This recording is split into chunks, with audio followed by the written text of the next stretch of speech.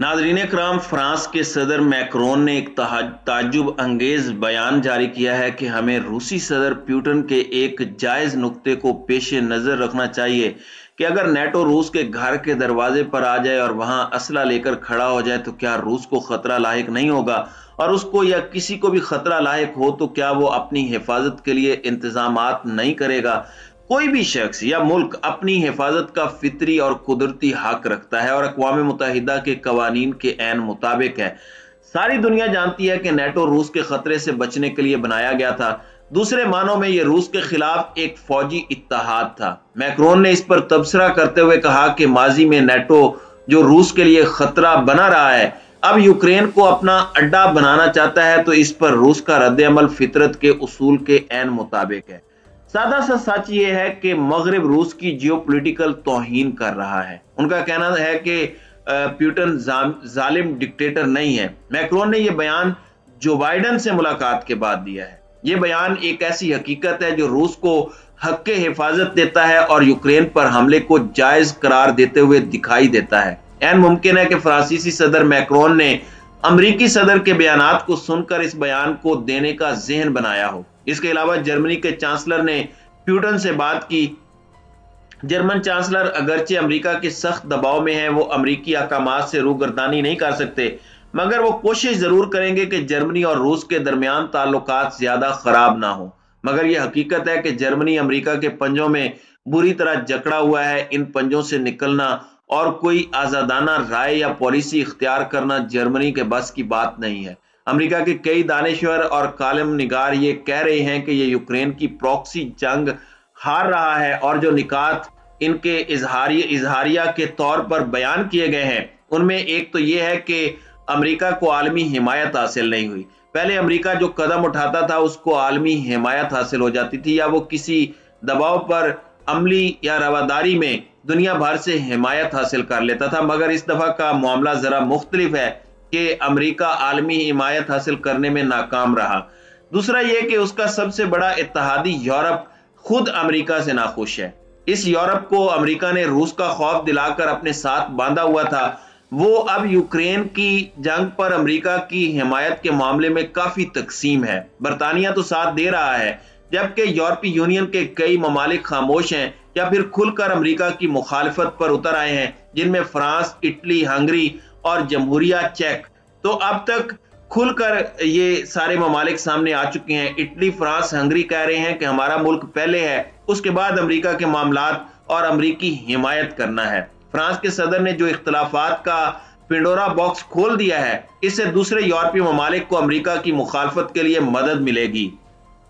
नाजरीन कराम चौथा नुकता यह है कि आलमी कसाद बाज़ार इस इंतहा को पहुँच गई है कि हर तरफ़ से इस पर आवाज़ उठ रही है और इसका सारा इल्ज़ाम अमरीका के साथ आ रहा है। वो कहते हैं कि आलमी महँगाई अमरीका जान बूझ कर करा रहा है ताकि वो अपनी आलमी बालादस्ती के मंसूबे को कामयाब कर सके। यूरोप के तीन लाख अफराद का सर्दी से हलाकत का खतरा इसलिए पैदा हो गया है क्योंकि रूस से उसको जो तेल और गैस मिलता था, वो अमरीकी पाबंदियों के बायस यूरोप को नहीं मिल पा रहा।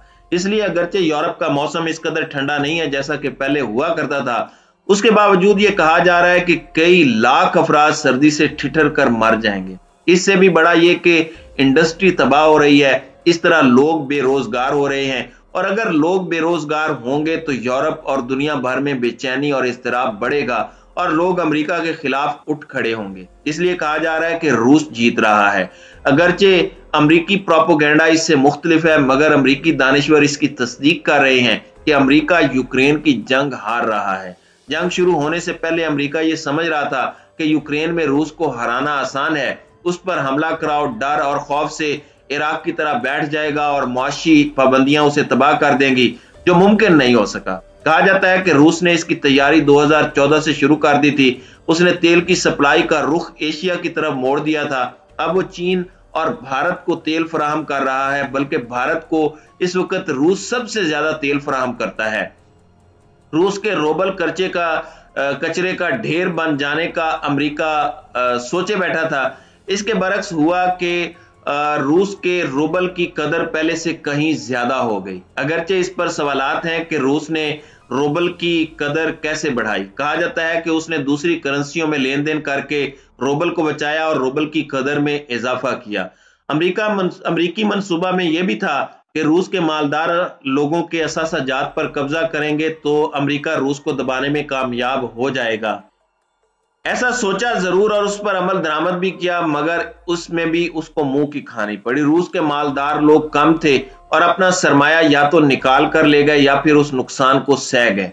अमेरिका का यह ख्याल भी था कि जब रूस पर पाबंदियाँ लगेंगी तो रूस के अवाम में बेचैनी फैलेगी और रूस के अवाम प्यूटन के खिलाफ उठ खड़े होंगे, प्यूटन को निकाल देंगे। मगर ऐसा नहीं हुआ। रूस के अवाम अपनी हुकूमत के साथ खड़े रहे या रूस ने ऐसे इंतज़ाम किए कि वो उठ ना सके। अमेरिका का यह ख्याल भी था कि रूस के टुकड़े हो जाएँगे, फिर वो उठ नहीं सकेगा, मगर हुआ इसके बरक्स।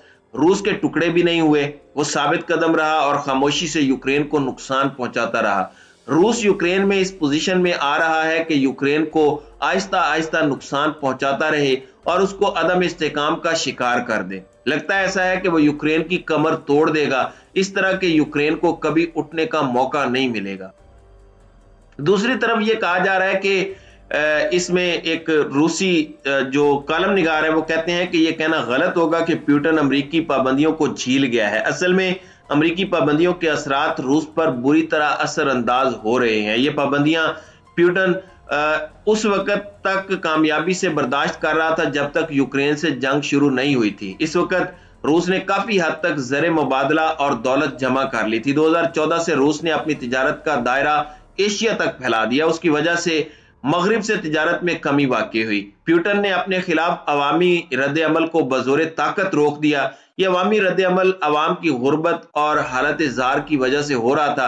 प्यूटन ने अपने खिलाफ अवामी रद्द अमल को रोकने के लिए बहुत अखराज किए और मगरब की पॉलिसी को बेअसर करके रख दिया। अगर गलती ना की जाए तो रूस पर उसके गहरे असरात मुरतब हो रहे हैं और इस तरह मगरब की पॉलिसी बनाने वालों को झांसा दे रहे हैं, जैसे कि उनकी पॉलिसी नाकाम हो गई है। और यूँ वो मगरब को मजबूर करके अपनी पॉलिसी तब्दील करने पर मजबूर कर रहे हैं। रूस की जीडीपी गिरी है और बेरोजगारी में नुमाया इजाफा हुआ है। रूस में बेरोजगारी की शरह 7.3 है, जबकि सरकारी तौर पर 7.2 दिखाई गई। 2022 के तीसरे दौरानिए में 50 लाख अफराद बेरोजगार हो गए।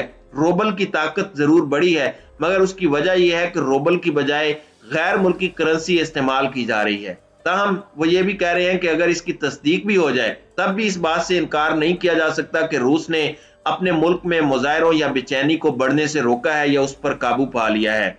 इसका इजहार रूस के शहरों में नज़र नहीं आता। इसके बरक्स अमरीकी, यूक्रेन की फौजी और माली मदद तो कर रहे हैं मगर खुद लड़ लड़ने को आने के लिए तैयार नहीं है। सदर जो बाइडन फैसला साजी में एक कमज़ोर शख्स साबित हुए हैं और उनकी नायब सदर भी कोई बहुत मुतहरिक खातून नहीं है। इसके अलावा खुद अमेरिका में सफ़ेद फार्म और काल, कालों और दूसरी नस्ल के लोगों के दरमियान जो कश्मकश है वो खुलकर सामने आ गई है। इसकी इकतसादी हालत बहुत कमज़ोर है। अमेरिका जैसे मुल्क में और दहशत गर्दी के वाकत देखने को मिल रहे हैं। अमरीका खुद अदम इस्तेकाम की तरफ़ बढ़ता नज़र आता है। अगरचे वो दुनिया पर अपनी बालादस्ती की जंग आज भी लड़ता हुआ दिखाई देता है। सवाल यह है कि वो इसमें कामयाब हो सकेगा या नहीं हो सकेगा, ये तो आइंदा आने वाले वक्त में पता चलेगा।